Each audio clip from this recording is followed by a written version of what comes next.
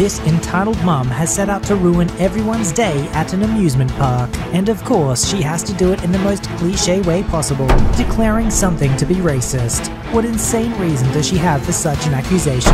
Happy birthday, today's your birthday and on with the revamped show.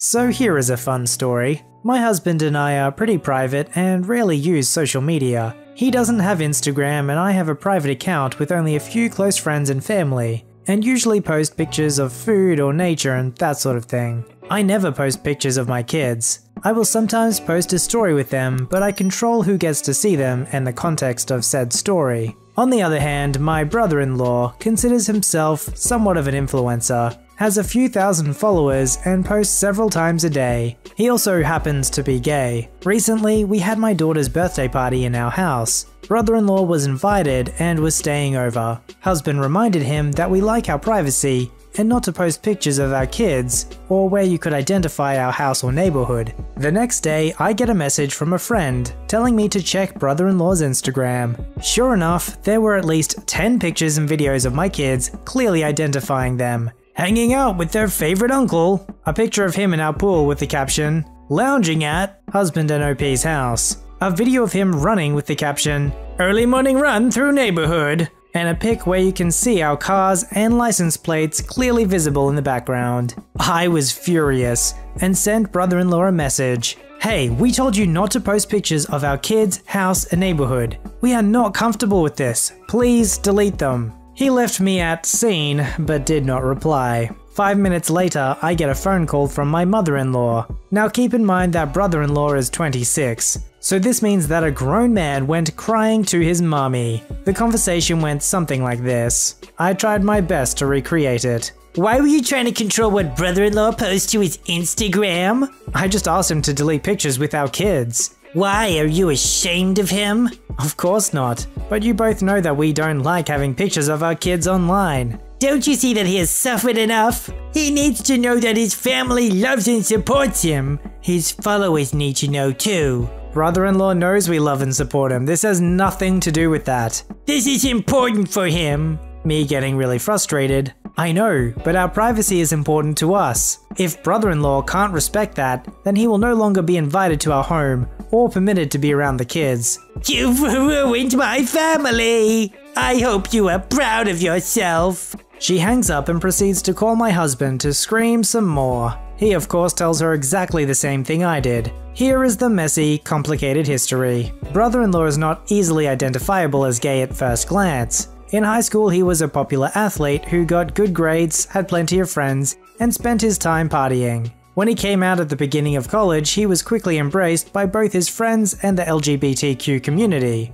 As far as we know, he never got bullied for it. So here is what mother-in-law is talking about. My parents-in-law are deeply religious, and they are definitely not okay with brother-in-law being gay. They go to mass every day and pray for his conversion. A priest advised them to keep brother-in-law close and shower him with love, and they interpreted this as spoiling him even further, never going against him in any way. Brother-in-law is fully aware of this, strings them along, telling them that he is confused and takes advantage of the situation. He once got them to go on an expensive European vacation because he needed to reconnect with his parents. I know that it must suck for brother-in-law that his parents don't accept him for who he is, and I also know that people in the LGBTQ community have it way harder than the rest of us. However, none of this justifies their crappy behavior and their complete lack of respect for husband and myself and our privacy concerns. If you're a 26 year old man and you can't fight your own battles,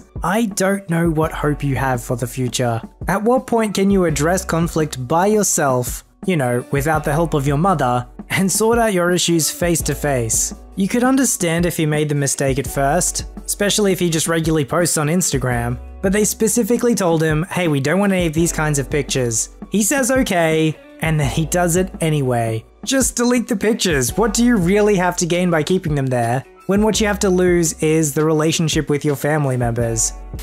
The cast. EA entitled aunt. Even calls herself my mum. Heck no.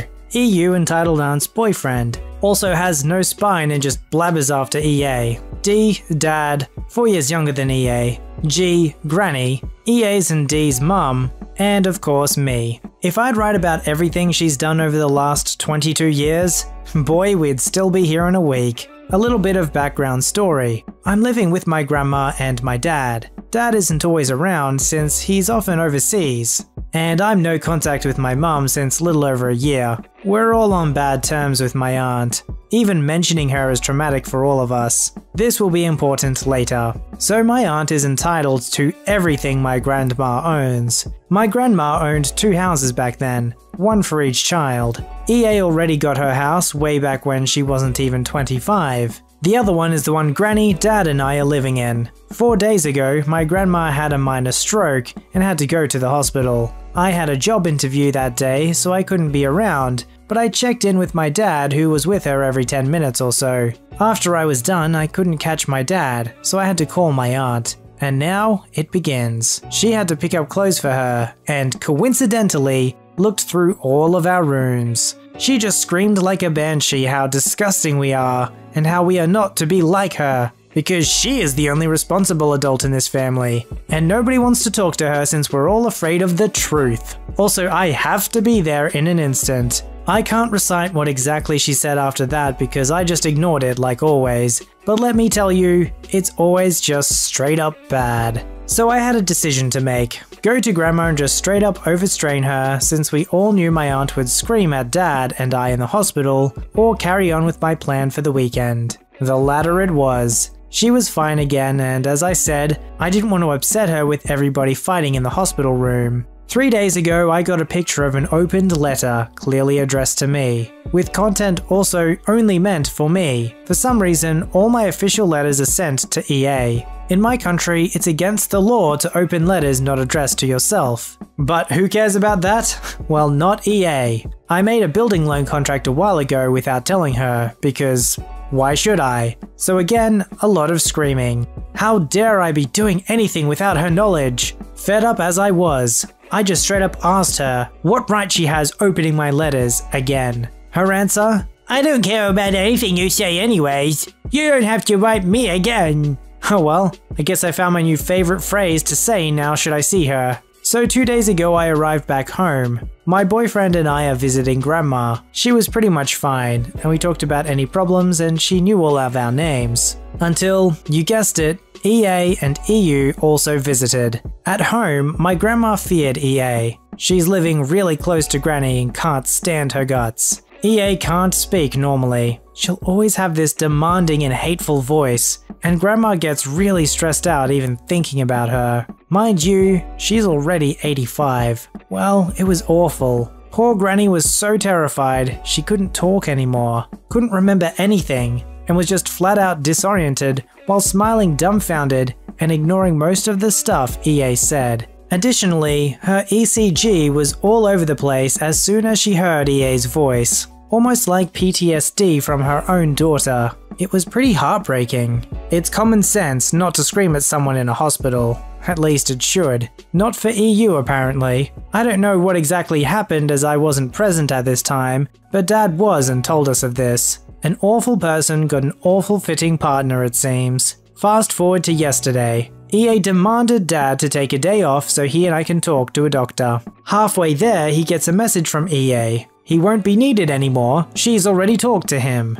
Great. The problem with this is, I am the only one with a patient decree, since my grandma does not trust EA at all with such decisions and Dad and I wanted the hospital to know how bad her state of mind and ECG worsened when EA arrived. Of course, the doctor can't talk individually to each family member and refused to talk to us again. We sadly don't know what EA told the doctor, but the one thing we know is, it is not her place to say. Last I heard from her was how she demanded all of Granny's pension and she wanted to manage it. A few things EA also did told me to work as a prostitute since I'm not worth anything, drop my boyfriend and date this random son of a guy she knows since they have money, snatched my child benefit and used it for herself, talked EU into paying for her liposuction, which was a total waste of money since she's weighing even more not even just two years later, pushed dad down the basement stairs, forced young dad to drop a former girlfriend with a disabled child since she thought it was not worth a relationship. Yikes. I don't know about you guys, but whenever I hear stories like this and they don't describe what they look like, I, I think I just have this perfect image in my head. And I'm curious to know do you have that same image in your head, or does everybody just subjectively project it as like a mismatch of all the people they've encountered in their life that are exactly like this? So uh, let me know in the comments what kind of person you visually think when you imagine an entitled aunt like this lady. Okay, so I work at an amusement park as character entertainment. Here's a little backstory. I work as a character from the Peanuts franchise. I was Lucy for the show and am known to be very sassy and entitled to an extent. We just finished our biggest show of the day and had a meet and greet by our stages. We are only legally allowed to be in character for 30 minutes at a time. The show is 15 minutes, so that leaves us with 15 minutes of meet and greet time. We always cut the line a few minutes before we have to go in, usually 5 or so minutes before. And we also announce when the line is cut, and even have a 10 second countdown before we officially cut the line. Now, we usually get a few people who come in after the line has been cut, and they usually understand that the people in the costume are tired and need to go inside to get water, until an entitled mum comes in. Lucy is me, that's my character's name. Entitled mum, EM. EMK, entitled Mom's Kid, not important. PP, Party Patrol,